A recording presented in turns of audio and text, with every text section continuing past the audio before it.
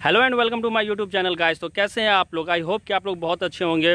And guys one more thing कि corona फिर से एक बार तेज़ी से, बहुत तेज़ी से बढ़ रहा है तो ऐसे में आप लोग ज़रूर मास्क का यूज़ करें और घर से बिना मतलब का ना निकलें।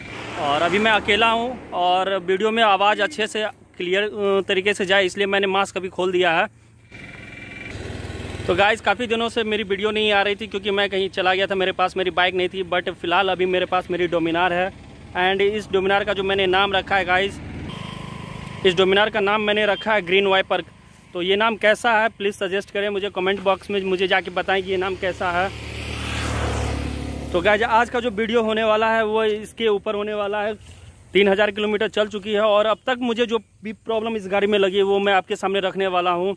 और कुछ पॉइंट्स हैं जो मैं आप लोगों को बताना भी चाहता हूँ इस गाड़ी के बारे में। तो इस वीडियो को पूरा देखिएगा लास्ट तक देखिएगा, बिल्कुल बिल्कुल भी स्किप मत कीजिएगा। तो चलिए स्टार्ट करते हैं इस वीडियो को।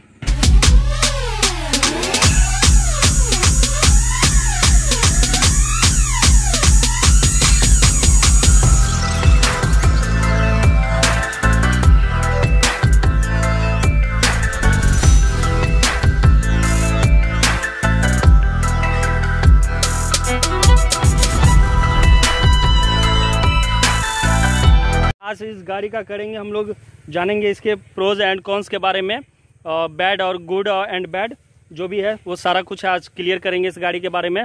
तो जो सबसे पहली चीज़ इस गाड़ी में मुझे सबसे ज़्यादा बड़ी प्रॉब्लम फील हुई है, वो ये है कि इसका गियर बॉक्स एक बहुत अजीब तरीके का आवाज़ आता है। जब भी आप गाड़ी स्टार्ट करते हो और फ़र्स्ट गियर लगाते हो डाउन शिफ्ट करते हो, एक बहुत ज़ोर का आवाज़ आता है। ऐसा लगता है जैसे किसी ने इस पर हैमर मारा हथौड़ा मारा हो। लोहे पे है। बिल्कुल वैसा साउंड आता है। पता नहीं आपकी गाड़ी में आता है या नहीं आता बट मुझे ऐसा लग रहा है कि हर एक डोमिनार में ऐसा साउंड आता है, क्योंकि मेरे पास दो है तो दोनों डोमिनार में ऐसी साउंड आती है। एंड आई थिंक ये हो भी सकता है कि इसका सिग्नेचर साउंड हो बट ये जो साउंड है, मुझे बहुत ट्रबल करती है। मुझे बिल्कुल भी पसंद नहीं है इतनी ज़ोर की आवाज़। एंड सेकेंड प्रॉब्लम जो इस गाड़ी में मुझे लगी तो वो ये है कि जब भी आप गाड़ी को स्टार्ट करते हो और सेल्फ लेते हो, अगर कभी कभार होता है कि सेल्फ फेल हो जाता है, नई गाड़ी स्टार्ट होती है तो उस वक्त भी इस गाड़ी से बहुत अजीब आवाज़ निकलती है। बिल्कुल जैसा गियर गियर लगाते समय बहुत ज़ोर की आवाज़ करती है, बिल्कुल वैसा ही सेल्फ से भी आवाज़ आता है। और आई थिंक ये हर गाड़ी में ना हो, सिर्फ़ मेरी गाड़ी में प्रॉब्लम हो सकती है। बट अगर आपके भी गाड़ी में है तो प्लीज़ कमेंट सेक्शन में मुझे बताएँ कि ये प्रॉब्लम आपके साथ भी हो रही है। एंड थर्ड पॉइंट थोड़ा सा अलग है हो सकता है आप इस बात से सेटिस्फाई ना हो बट मैं आप लोगों को बताना चाहूँगा कि इस गाड़ी का जो लाइट है ना गाइज़ वो कभी कभी मुझे बहुत ट्रेवल करती है। जैसा कि इसमें आप लो बीम और हाई बीम दोनों एक साथ जला के रोड पे चलाओगे तो आ, अच्छी लाइट है। बट अगर मैं सिर्फ़ लो बीम यूज़ करता हूँ या सिर्फ़ हाई बीम यूज़ करता हूँ तो आप भी एक बार ट्राई करके देखना आपको लाइट कैसी लगती है। बट मुझे तो बहुत कम लगी। अगर मैं सिर्फ़ लो बीम यूज़ करता हूँ तो लाइट बहुत ही ज़्यादा कम है रोड पे। उतनी ब्राइटनेस अच्छी नहीं है विजिबिलिटी उतनी स्ट्रांग नहीं है। तो गाइज़ आपने देख लिया, गाड़ी की जो भी बैड थिंग्स थी वो मैंने तो गाइज़ जो भी बैड थिंग्स थी वो मैंने आपको बता दिया, मुझे तीन पॉइंट लगे। इसके अलावा तो कोई खास इशू इस गाड़ी में अब तक मुझे फील नहीं हुआ। एक चौथा जो है, जिसके बारे में हर कोई जानता है, इस गाड़ी का जो वेट है। गाइज़ इसके वेट का कभी कभी मेरिट भी मिलता है, फ़ायदा भी मिलता है बट कभी कभी ऐसा लगता है कि अगर वेट थोड़ा कम होता तो ज़्यादा बेहतर होता, क्योंकि जब गाड़ी पे बैठ के बैक करना हो तो बहुत ज़्यादा एनर्जी लगाना पड़ता है, बहुत ताकत लगाना पड़ता है, क्योंकि वेट बहुत ज़्यादा है। तो ये चार पॉइंट्स थे इसके बैड थिंग्स के बारे में एंड गुड थिंग्स की मैं बात करूँ तो गाइस सबको पता है इस गाड़ी में गुड थिंग्स की कोई कमी नहीं है, बहुत अच्छी गाड़ी है। तो चलिए स्टार्ट करते हैं गुड थिंग्स के बारे में भी।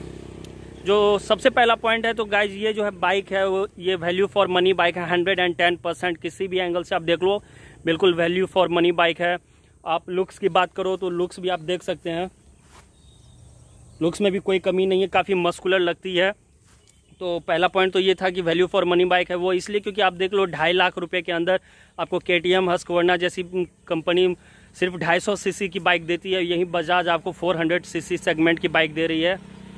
तो सेकंड बात जो इस गाड़ी की अच्छी बात यह है कि इसकी जो पावर है गाइज़ इस सेगमेंट में, इस प्राइस रेंज में आपको इतनी पावरफुल बाइक नहीं मिलेगी एंड जो इस बाइक की जो सबसे खास बात है, वो रोड पे जो स्टेबिलिटी है, वो कमाल की है। ये मुझे बहुत पसंद है और ये वेट की वजह से ही हो रहा है। जी हाँ तो कहीं इस वेट की वजह से प्रॉब्लम भी होता है तो इसका कहीं फ़ायदा भी मिलता है।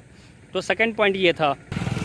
थर्ड पॉइंट की बात करूँ तो एक स्पोर्ट नेकेड बाइक में जो चीज़ होना चाहिए, वो सारा चीज़ इस बाइक में इंक्लूड है। आप देख सकते हो dual channel A B S है U S D U S D fork है, जो कि हैंडलिंग को बहुत बेहतर तरीके से इन्हांस करता है।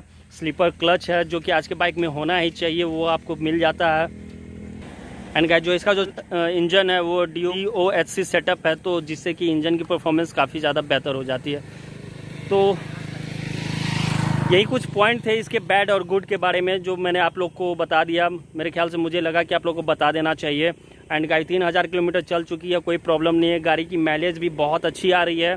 खास करके ई e अपडेट होने के बाद आ, मुझे लग रहा है कि गाड़ी काफ़ी ज़्यादा खुल गई है बहुत अच्छे से चल रही है। एंड माइलेज भी approx twenty eight to thirty two के बीच में दे देती है। हाईवे पे भी सिटी में भी। तो ये चीज़ अच्छी बात है इस गाड़ी के बारे में। तो गाइज़ अगर ये वीडियो आपको पसंद आया हो तो प्लीज़ इस वीडियो को लाइक कर देना। एंड अगर आप चैनल पे फ़र्स्ट टाइम आए तो गाइज़ चैनल को सब्सक्राइब कर देना और साथ में बेल आइकन को भी प्रेस कर देना ताकि आपको मेरी नेक्स्ट वीडियो की नोटिफिकेशन जल्दी मिल जाए। बूम